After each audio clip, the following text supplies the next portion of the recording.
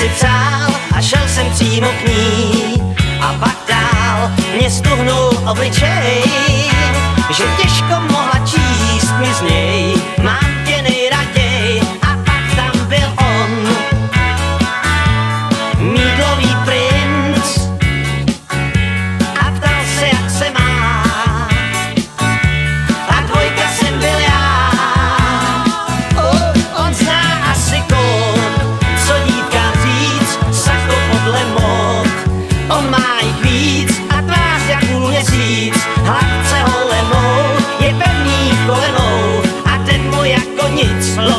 koček šli míc.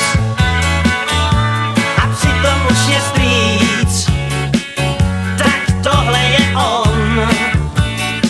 Ten hladký mídlový princ, fešák, fešák.